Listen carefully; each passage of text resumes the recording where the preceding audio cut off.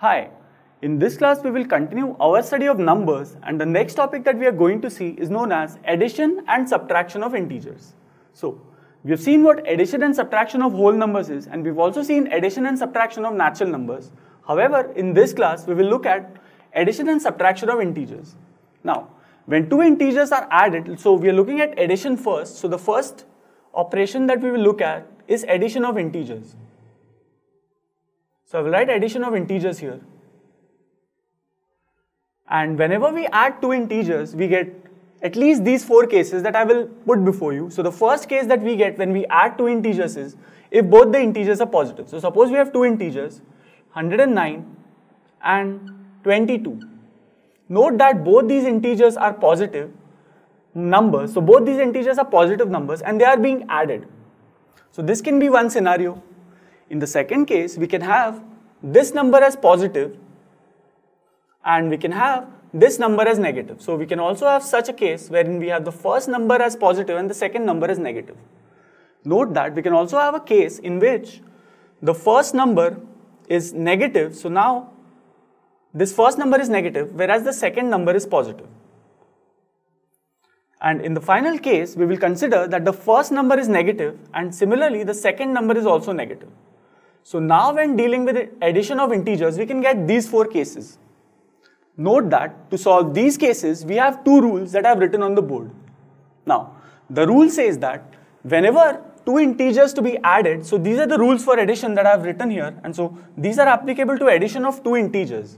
So, the rule 1 says that if the two given integers to be added have like signs, so we are talking about like signs now. What do we mean by like signs? By like signs, we mean that either both these will be positive or both these will be negative. So this rule 1 applies to this case. So I will write here that this is a case wherein we can use rule 1 because signs of both numbers are similar that is positive in this case and signs of both numbers in this final case is negative. So these two integers also have the plus sign and these two integers also have the same minus sign and so we say that in both these cases rule 1 applies. Now let us look at what rule 1 is. Rule 1 tells us that whenever we have to add two integers that have like signs, then we add the numerical values of the integers, not considering the signs of the integers. And then we give the sum their common like sign. Well, let us look at this rule by means of an example. So here, because both numbers are positive, they, we say that they have like signs, and so we apply rule 1 here. And rule 1 says add the numerical values. Now numerical value of 109 is 109 itself. So I will say this is 109. Similarly, numerical value of 22 is 22 itself. So I will write a 22 here. So we've added the numerical values, not considering their give, not considering their sign, and then we give their sum the common like sign. So we first added these numerical numbers 109 and 22, and then we obtained the value 100 and 31. And so when we added these two integers, which both had a like sign positive, then we first took their numerical value. So numerical value of 109 is 109 and numerical value of 22 is 22 itself. And so we added the numerical values and then we gave their sum the common like sign. Now the sum was obtained as 131 and the common like sign to both these integers is positive because both these are positive and so we will include a positive sign here and so this will become plus 131 which can also be written as simply 131. Now this was very easy because the numbers we were dealing with were both positive and so this can be taken as addition of two whole numbers. But what happens in the final case? In the final case we have minus 109 which is a negative number being added to minus 22 which is again a negative number. Because both integers are negative, we follow the rule 1 again. And the rule 1 says that if two integers to be added have like signs, then we first add their numerical values not considering their signs. So if I don't consider the signs and add the numerical values, I get 109 plus 22. So I'm adding these two numerical values, 109 and 22, without considering the sign. But the next step is, after we have added the numerical values without considering the sign, we give the sum their common like sign. Now, in this case, the common like sign is minus, and so we will give this sum the sign minus. And so our final answer becomes minus of 109 plus 22. Now we know that 109 plus 22 is 131, and minus of 131 will be this number itself, that is minus 131. So now you've seen two cases. In the first case, we saw that when both integers were positive, we got a positive whole number, and if both integers to be added were negative, we got a negative number. And this is how we apply the first rule to these two cases. Now let us look at the second case. In this second case, we have first number as positive and second number as negative. So here, the two integers to be added have unlike signs. And so this condition is not satisfied. And so we will look at the second rule, which is for unlike signs or opposite signs. So we are now looking at the rule 2 which is for unlike or opposite signs and note that here the method says that whenever we have to add two integers which have unlike signs or opposite signs then we have to find the difference between their numerical values not considering the signs. So we will do this first step. Now because in this case one is positive, one is negative, we apply the second rule that is they have unlike signs. And the second rule says that we have to find the difference between their numerical values not considering their signs.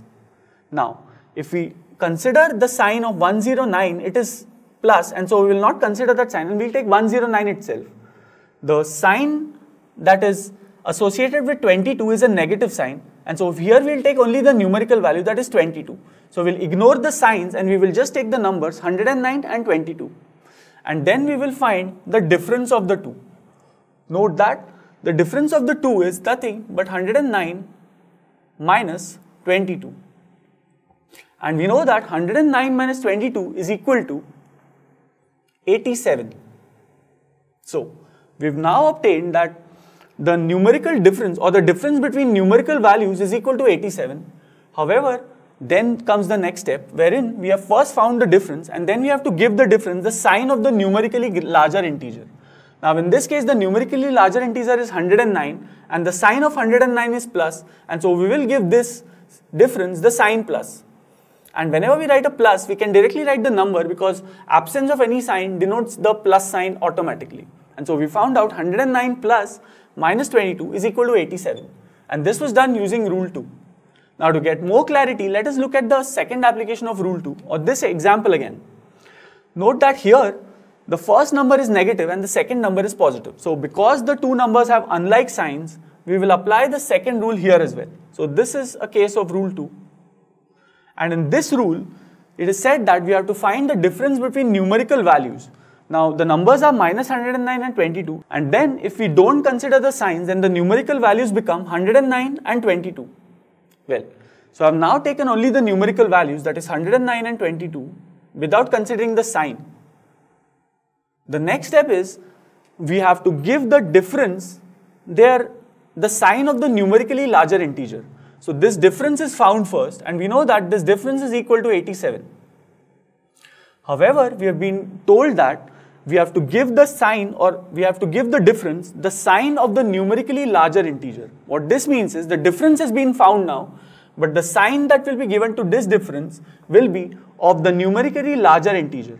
Now, if you see the number 109 is larger than 22 and so the sign of 109 will come to this. The sign of 109 is minus and so here we will write a minus 87.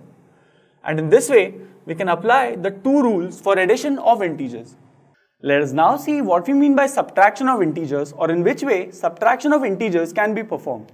So now we are talking of the second operation which is called subtraction. And because we are dealing with integers here, we will call this subtraction of two integers. So we're dealing with two integers here, one of which which has to be subtracted from the other. So let us look at how subtraction of two integers is carried out. Well, we have a rule to explain us how to carry out subtraction of two integers. And the rule says that subtracting one integer from another one is same as adding its additive inverse. Now to understand this, let us take an example of two integers a and b. So we're now taking two integers a and b and suppose we are subtracting this integer b from this integer a. Now this rule says that subtracting an integer from another one is same as adding its additive inverse. So the meaning of this operation is we are subtracting b from a which is same as adding b's additive inverse to a. So we will say a plus b's additive inverse. So now we have learned a new rule which says that subtracting two integers or subtracting one integer from the other is same as adding that integer's additive inverse to the other integer. Now let us see what we mean by additive inverse. So here we have a term known as additive inverse. Now additive inverse of any integer is that integer when when added to that integer gives us a 0. So in other words, if we are dealing with a number such as b, then additive inverse of b is simply obtained by putting a minus sign to b. And so b's additive inverse becomes minus b. So if we want to substitute b's additive inverse, we will write a minus b in its place. And note that because we have substituted additive inverse, this minus sign now becomes a plus sign. So here we write a plus minus b. And so this can very easily be solved because this is of the type of addition of two integers. So we've seen how addition can be performed and we've also seen how subtraction can be performed using addition and the concept of additive inverse. Now, if you are a little confused, let us try this method on some numbers. Well, let us assume the first numbers to be subtracted are, let us assume that 193 minus 24 is to be performed. So now we will take two integers. The first one is 193 and the second one is 24. And now we will apply the method of subtraction of two integers. Well, here if you see, subtracting an integer from another one is same as adding its additive inverse. And so, subtracting 24 from 193 is same as adding additive inverse of 24, which we know is minus 24, to the first number, that is 193. So we can write 193 minus 24 is equal to 193 plus minus 24. And now that we've written this as an addition of two integers, we can very easily find the answer. And so now when we perform this operation of addition of two integers, one of which is 193 and the second one is minus 24, we get the answer 169. So 193 minus 24 gives us the value 169. Now this was done using this rule that we know. And so let us take one more example for clarity. So suppose this time the numbers to be subtracted are the first number is 193 and the other number to be subtracted is minus 24. So in this case, we have the first number is 193 and the second number is minus 24. Now here again we will apply the rule which says that subtracting this integer from this integer is same as adding the additive inverse of this integer to this. So additive inverse of minus 24 becomes plus 24 and so because we have included the additive inverse of minus 24, this minus sign will change to plus. And then this number minus 193 will be preserved. So now we have written that this equation or this expression equals minus 193 plus 24. And this is of the form of addition of two integers. And so we can easily perform this addition and we finally get the answer as this is equal to minus of 169. So I'm now not going into the detail of addition of two integers once more because we've already seen how to add two integers. And so the answer to this specific case becomes minus of 169. Let us take one final example to illustrate this concept. Now, suppose the first number is 193 and the second number to be subtracted is minus 24, then what will happen? Well, in this case, note that the first number is 193 and the second number is minus 24. And in this case, we have to perform this subtraction. Now, again we'll rule the, use the same single rule which says that subtracting an integer from another one is same as adding its additive inverse. So here, if we are subtracting this from this, we will add the additive inverse of this second number to this. So the first number is unchanged. The second number has a minus sign and here we have a minus 24 so this minus 24, whose additive inverse now becomes plus 24. And now because we've replaced this by its additive inverse, this sign will change to plus and so we get 193 plus 24 which can very easily be evaluated as equal to 217. And so in this case, the answer that we've got is 217. Now one final case remains which is if we have the first number as negative and the second number to be subtracted as positive. So this can be another scenario.